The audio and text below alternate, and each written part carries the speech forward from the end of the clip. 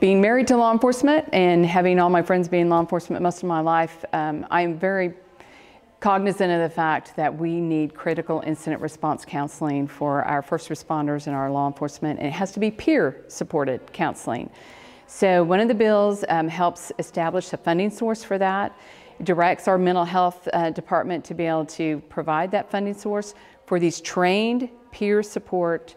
counselors to be able to go out and provide support to our law enforcement and our first responders, prevents suicide, prevents families from breaking up, and it's just greatly needed.